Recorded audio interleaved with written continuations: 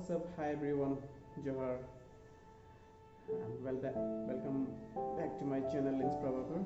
Um, I'm really don't want to share, but uh, I'm doing this because I really feel pity for my village over there. And yesterday, the two firefighters lost their lives, and it was really depression to see such scene actually they might have died already in the night itself because when there was a heavy blow heavy blow of the fire they wanted to escape from it but in order to get in order to escape from that they got uh, they fell into the river and from there uh, they just uh, could not uh, swim or could not uh, do anything. They died in the river itself. So people were searching here and there, they couldn't find. So later on, the NDRF team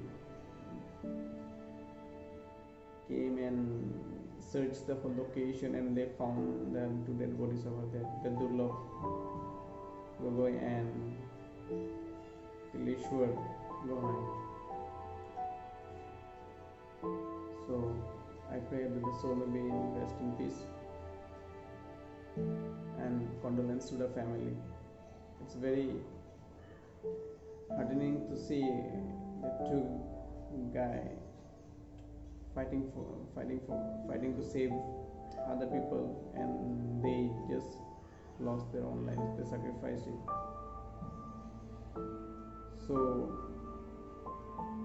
how did it actually happen and how did it broke up with the fire?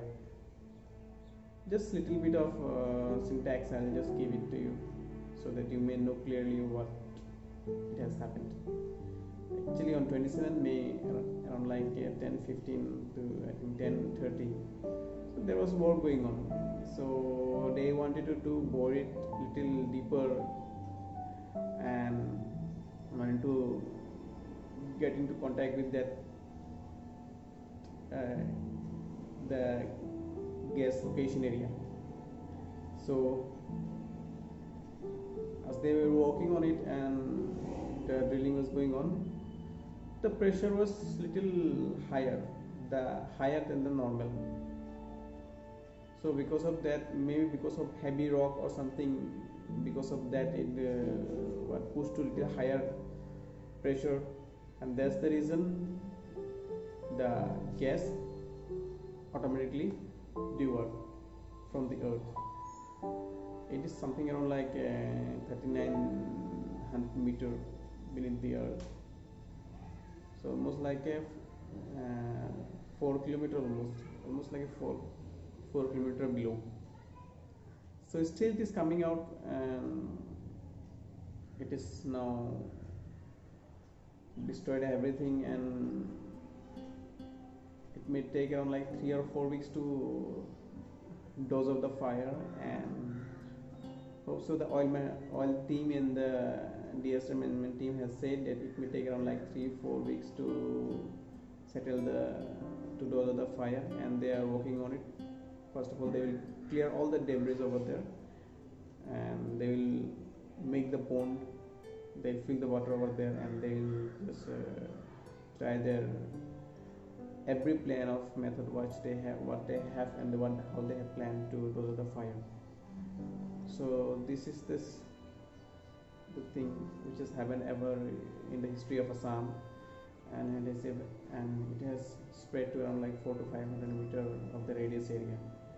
And it's very uh, devastating to see such a scene. And Dibru-Saikhowa just near and thank god it didn't went that side. Yeah, because the oil was also even floating on the river because from the before from the 14 days it was spreading and the oil the oil has completely settled down in whole of the area and covered the every green grass plant and uh, trees.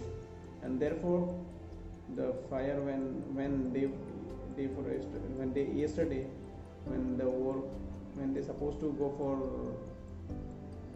for put of the fire um, and no the put of the gas to block the bolt so due to some friction of war due to some work due to some friction the fire broke out from there. Some work was going on. So, so because and also heat was uh, there was too much of heat from the sunshine. And because of that activity it caused a wildfire and it has spread to vast area and many houses were destroyed goats were destroyed animals were destroyed property destroyed tea garden destroyed. When the oil india lost there are many vehicles machines the fire brigade lost their vehicle even the fire brigade also water tank also got burned up. It's a very very heavy heavily lost for the industry and for the people over there. I feel really feel sad by seeing and seeing. So this is just few of my briefing sentence given to you. And please share and subscribe to my channel. And if you like it please like and comment